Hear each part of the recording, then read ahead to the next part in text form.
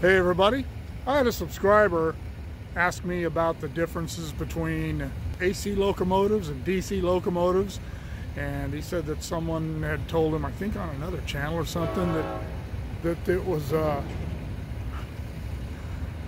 that uh, some, something about an engine having been converted from AC to DC or vice versa, I don't remember. I didn't know. I'm a signal guy. I'm really not conversant with locomotives, with their types, or anything else. So I stopped at the office down here, talked to uh, my buddy who is one of the managers in the operating department, and I asked him.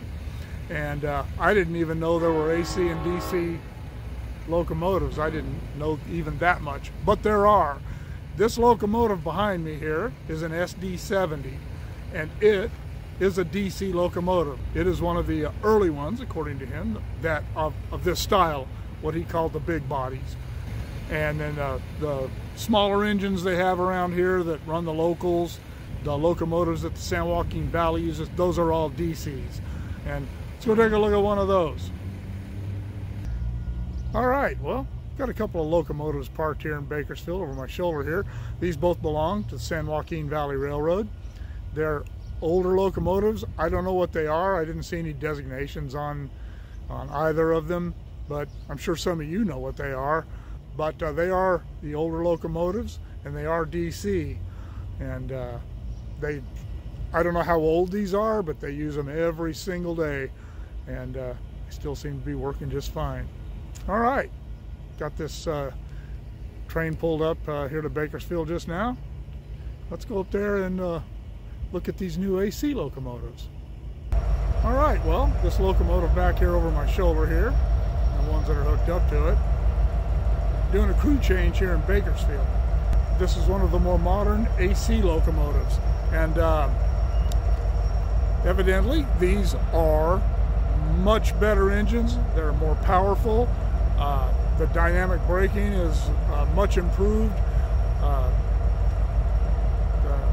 Friend was telling me that you could darn near stop a train just using dynamic brakes with these new engines and not even have to apply the air. I don't know if he was uh, exaggerating or not, but he said they are much superior locomotives. Also, the person that uh, my viewer was talking to who said something about being able to tell that these were uh, uh some some locomotive had been swapped from AC to DC. They don't do that. Uh, they run the DC locomotives until they're wore out, and then they just replace them with an AC locomotive. So uh, anyway, that is what I now know about locomotives. Uh, I can look at locomotives and tell if they're older or newer.